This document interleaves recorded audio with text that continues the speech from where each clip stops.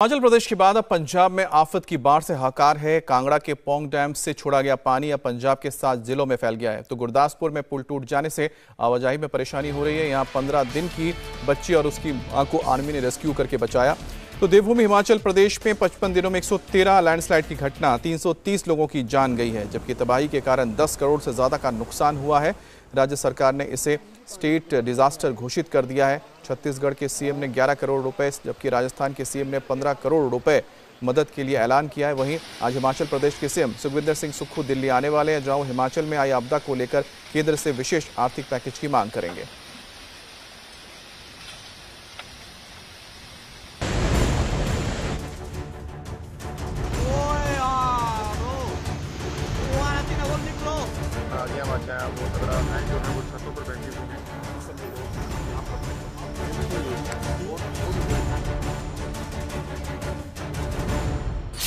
हिमाचल में हाहाकार, पंजाब पर पानी का प्रहार।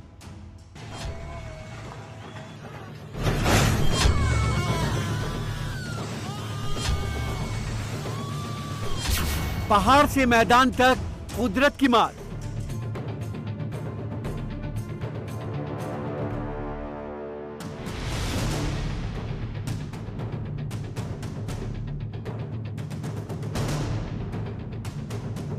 कांगड़ा टू होशियारपुर, आफत की बौछार।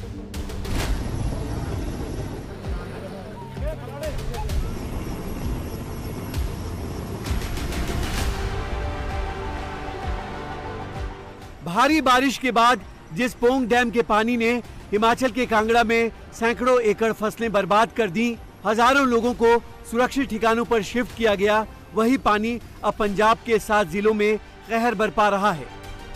लोग घरों को छोड़कर सड़क किनारे आ गए हैं। इस वक्त मैं मौजूद हूँ होशियारपुर, टांडा और श्री हरगोबिंदपुर रोड के ऊपर। यह होशियारपुर डिस्ट्रिक्ट में पड़ता है और आप ठीक मेरे पीछे देख रहे हैं, ये ब्यास नदी है। और ब्यास नदी में ये पानी है, ये पोंग डैम से छोड़ा गया पानी है, उसके बाद से यहाँ पर बाढ़ के हालात बन गए हैं। और अब मैं यहाँ पर आपको तस्वीर दिखाता हूँ, ये पूरे के पूरे जो घर हैं, इस समय बाढ़ की गिरफ्त में है। ये आप देखिए तो आप समझ पाएँगे कि यहाँ पर पूरे के पूरे जो घर हैं, वो इसमें बाँस के का जो पानी है, वो गाँवों में घुस गया। लिहाजा ये घर जो है, ये पूरे पूरे अब इसमें डूबे हुए हैं। और ऐसे एक नहीं, यहाँ पर पूरे जितने अंदर जाएँगे, पानी और गहरा होता चला जाएगा और गाँव के गाँव जो हैं, वो पानी के अंदर इस वक्त डूबे हुए हैं। और अब मैं आपको दूसरी तस्वीर दिखाता हूँ। ये आप देख सकते हैं, मेरे आप सामने आप देखेंगे। तो ये गाँव के लोग हैं जो इस वक्त अपना घर बार छोड़कर सड़क पर बस गए हैं। यहीं पर वो अपने जो पशु हैं, उनका दूध निकाल रहे हैं। ये आप तस्वीर देख सकते हैं यहाँ पर, क्योंकि इनके जो घर थे, वो बाढ़ में डूब गए। लिहाजा इन्होंने अपने अस्थायी घर जो थे, वो ये नेशनल हाईवे पर बना लिए हैं। पोंग डैम से छोड़े गए पानी ने पंजाब के होशियारपुर में सबसे ज़्यादा कहर बरपाया है। यहाँ करीब दो दर्जन से ज़्यादा गाँवों में पाँच से सात फीट तक जल भराव हो गया है। टांडा नेशनल हाईवे के किनारे पनाह लिए लोगों का कहना है कि डैम से पानी छोड़े जाने के बाद ब्यास नदी में ऐसा उफान आया कि लोग अपने ज़रूरी सामान भी नहीं निकाल पाए। तो ये पूरी सड़क जो है, ये नेशनल हाईवे है और ये पूरी की पूरी सड़क जो है इस समय यहाँ पर, जो आसपास के गाँव के लोग थे, वो यहाँ पर बसेरा किए हुए हैं। आप देखिए तस्वीरें तो ये तमाम जो लोग हैं जहाँ जहाँ तक कैमरे की नज़र जाएगी कुछ ऐसा ही तस्वीर जो है वो सामने आएगी। आप देखिए, सबके पशु जो है वो यहाँ पर हैं और एक लंबी कतार जो है वो आगे आप देख रहे हैं तो सामने भी आप देखेंगे तो पूरे जो लोग हैं वो यहाँ समेत सड़कों पर नज़र आएँगे। अगर मैं दूसरी तरफ़ कैमरा घुमाता हूँ तो आप यहाँ से अगर मैं कैमरा दिखाऊँ आगे तो इस साइड भी जो घर हैं वो यहाँ पर पानी में पूरी तरह से डूबे हुए हैं और यहाँ पर भी बुरे हालात हैं। जैसे कि गाँव वाले बता रहे हैं कि इस तरफ़ जो है पाँच फुट पानी है तो इस तरफ़ जो है वो छह फीट पानी है। ये आप तस्वीरें देखिए। चारों तरफ़ पानी का ही पानी मंजर यहाँ पर दिखाई देगा। ये आप तस्वीरें देख रहे हैं। काफ़ी ज़्यादा पानी यहाँ पर आपको नज़र आएगा। और जहाँ तक देखें आप तो दूर दूर तक आप, जहाँ तक कैमरे की नज़र जाएगी, सिर्फ़ जो आसपास के गाँव के जो लोग हैं, वो सड़कों पर बैठे हुए नज़र आ रहे हैं। ये देख सकते हैं आप, पूरा का पूरा घर जो है वो पानी में डूबा हुआ है। जो लोग हैं, वो छतों पर रहने को मजबूर हैं। सामने आप तस्वीर देखिए, महिलाएँ जो हैं वो छतों पर बैठी हुई हैं क्योंकि घर उनका जो है वो पानी में डूब चुका है। पोंग डैम से छोड़े गए पानी के कारण व्यास में उफान है तो पंजाब के सात जिलों में बाढ़ के हालात बन गए हैं। होशियारपुर, रोपड़ तरन तारन कपूरथला, अमृतसर, फिरोजपुर और गुरदासपुर बाढ़ की चपेट में है। बाढ़ से सबसे ज़्यादा तबाही होशियारपुर और गुरदासपुर में देखने को मिल रही। गुरदासपुर में एक पुल टूट गया, जिससे आवाजाही में परेशानी हो रही है। जिनके घरों में पानी घुसा है, वो तो सड़क किनारे हैं ही, लेकिन जो गाँव अभी बचा हुआ है, वहाँ से लोग ट्रैक्टर ट्रॉली में भरकर लोगों के लिए अपने घरों से खाना बनाकर ला रहे हैं। और यहाँ पर जो बाढ़ की वजह से जो तमाम आसपास के गाँव के लोग हैं, वो सड़क पर रात काटने को मजबूर हैं। और ये आप देख सकते हैं यहाँ पर कि यहाँ पर पानी की यहाँ पर बकायदा ये लंगर जो है यहाँ पर दिया जा रहा है इन लोगों को और उसके साथ ही यहाँ पर कुछ और भी यहाँ पर लोग पहुँचे ये आप कहाँ से लेके आ रहे हैं जी? खाना वगैरह जी ये लागे गाँव है जी चीमा खुडी अच्छा। उतो जी लंगर पका के मज़ा वास्ते चारा लैके आई दो दिन हो गए। ਗਏ ਅੱਜ ਅਸੀਂ ਲੰਗਰ ਲੈ ਕੇ ਆਏ ਸੀ गाँव के लोग आपस में मदद कर रहे हैं। हाँ सब मदद करते हैं। अच्छा। हाँ। तो सुबह का खाना भी ऐसे ही आप लेकर आते हैं यहाँ पे सुबह का भी सुबह का खाना भी दोपहर का और बाकी चारा भी लेके आते हैं हम लोग। कुतर के चारा लेके पशु आस्ती लेके आते हैं हमको। पंजाब हिमाचल प्रदेश सीमा पर स्थित जिस पोंग डैम के पानी ने दोनों सूबों में तबाही मचाई है उस पोंग डैम में खतरे का निशान 1400 मीटर है और फ़िलहाल डैम में 1390 मीटर तक पानी पहुँच चुका है। इसी वजह से लगातार पोंग डैम से पानी रिलीज़ किया जा रहा है। हालाँकि अब पानी रिलीज़ करने की मात्रा को कम किया गया है। फुल रिजर्वायर लेवल जो है, पोंग डैम का, ये 1400 फुट का है। लेकिन जो भराव क्षमता को रखने के लिए निर्णय लिया जाता है, बोर्ड के द्वारा, वो 1390 का लेवल है। तो अभी हम लोग तेरह और तेरह के बीच में हमारे लेवल चल रहे हैं। खतरे के निशान से तो बिल्कुल नीचे कह सकते हैं, लेकिन स्थिति अभी उतनी भी अच्छी नहीं है। ईज की स्थिति में नहीं कह सकता। तो अभी भी हमको रिलीजेस कुछ और करने पड़ेंगे। पंजाब परेशान है तो हिमाचल में 55 दिनों में 113 लैंडस्लाइड की घटना हो चुकी है, जिनमें कुल 330 लोगों की जान जा चुकी है। राज्य सरकार ने आपदा को स्टेट डिजास्टर घोषित किया है।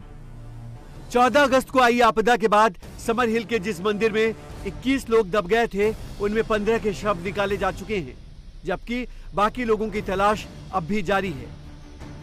हालाँकि Indian Institute of Advance Study की इमारत को ज़्यादा खतरा नहीं है, लेकिन नुकसान की जानकारी के लिए टेक्निकल स्टडीज़ की जा रही है। इसी इमारत के पास से लैंडस्लाइड शुरू हुआ था, जिसकी जद में शिव मंदिर भी आ गया। देखिए, मेरे जो जानकारी है, जो हमारे स्थानीय पार्षद है, रविंदर ठाकुर जी, वो हमारे वहाँ के लोकल रेजिडेंट है।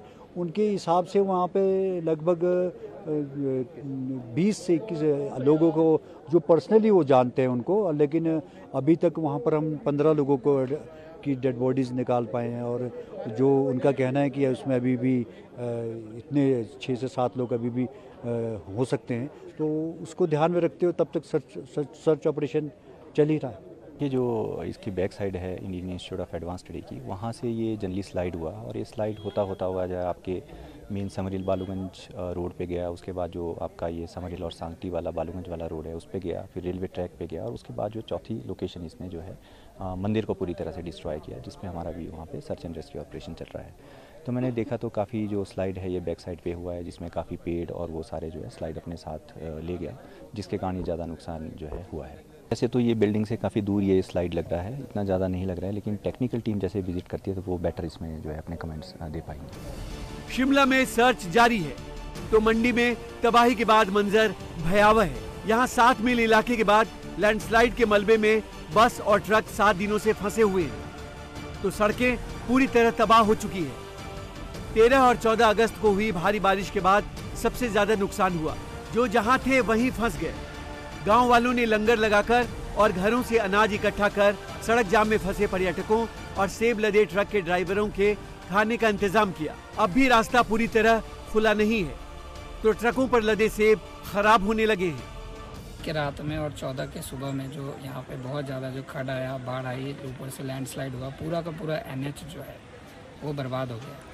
तो अगर हम देखें वहाँ चार मील से लेकर के सात मील तक की हालात इवन नौ मील तक की हालात जो है बहुत ही डेंजरस है। किसी तरह से जो है अभी दो दिनों में हमने जो है सात मील तक हमने पंडोह से लेकर के रास्ता रिस्टोर कर कर लिया है। अभी सिंगल लेन जो है इस्टेब्लिश हुआ है बट भरी हुई ट्रक को ले जाना अभी भी रिस्की है। हिमाचल प्रदेश में भारी बारिश और भूस्खलन से बनी मुश्किल परिस्थितियों में पीड़ितों की मदद के लिए राजस्थान सरकार की ओर से 15 करोड़ रुपए की सहायता राशि का ऐलान किया गया है। तो वहीं छत्तीसगढ़ के सीएम भूपेश बघेल ने ट्वीट कर 11 करोड़ रुपए की सहायता राशि की घोषणा की। हिमाचल सरकार ने राज्य आपदा घोषित किया है। तो आज हिमाचल के सीएम सुखविंदर सिंह सुक्खू दिल्ली आ रहे हैं, जहाँ वो केंद्र से आर्थिक मदद की गुहार लगा सकते हैं। पंजाब, हिमाचल परेशान है तो उत्तराखंड में भी भारी बारिश से नदियाँ उफान पर हैं। चमोली ज़िले के थराली के सोल में भारी बारिश के बाद प्राणमती नदी का जलस्तर बढ़ने से थराली में शिव मंदिर में भारी मात्रा में मलबा जमा हो गया है। हालाँकि कोई जान हानि नहीं हुई है। ऋषिकेश में भी गंगा खतरे के निशान से ऊपर बह रही है। मानसून का कहर पहाड़ से लेकर मैदान तक बरपा है। तो आज से ओडिशा में भारी बारिश की चेतावनी जारी की गई है। लास्ट 24 आवर्स में है पिछले 24 घंटा में हमारा उड़ीसा में मानसून एक्टिव हुआ है। स्टेट एवरेज रेनफॉल 32.1 मिलीमीटर था 12.8 स्वाभाविक होता है। और हाइस्ट रेनफॉल था हमारा केउंझा डिस्ट्रिक्ट का तिलकॉय में 182.6 मिलीमीटर उसके बाद हमारा कोटक का बांकी में 182 बोलांगीर डिस्ट्रिक्ट का गुरुवेला में 139.8 पूरी डिस्ट्रिक्ट का पिपली में 122 इंडिया टीवी हर वक्त, हर जगह। डाउनलोड करने के लिए सर्च करें India TV news, Google Play Store या एप स्टोर पर।